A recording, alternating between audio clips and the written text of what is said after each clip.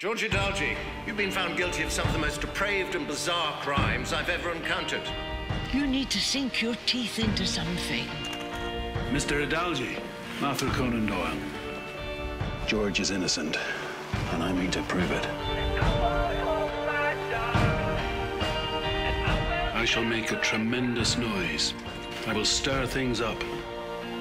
I'm not sure that if I'd been on that jury, I might have found George Edalji guilty.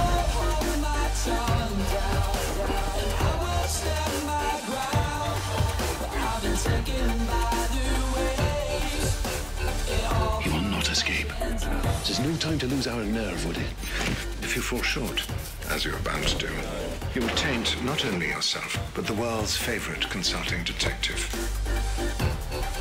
Arthur and George coming soon within seven days of the UK premiere on ITV Choice.